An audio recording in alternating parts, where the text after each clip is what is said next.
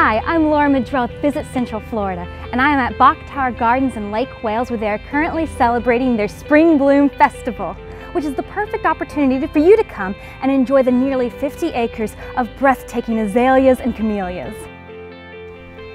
Learn more about the lovely blooms when you go on a guided walking tour.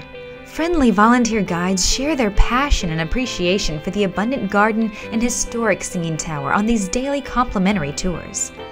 As blooms fill the garden, music fills the air. No trip to Bok Tower Gardens is complete without hearing the live carillon concerts from the Singing Tower at 1 p.m. and 3 p.m. daily. Arrive early to get a seat in front of the television, which shows carillonneur Gert de Hollander playing live from up in the tower.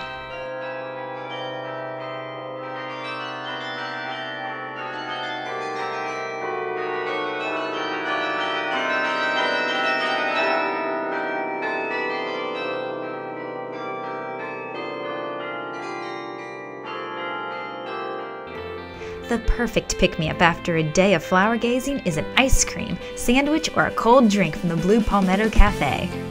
The awe inspiring abundance of blooms create an ideal backdrop for serious nature photographers and Instagrammers alike.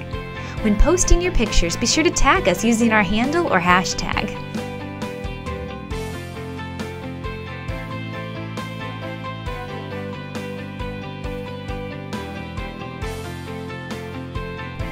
So, what are you waiting for? Central Florida is in full bloom right here at Bok Tower Gardens.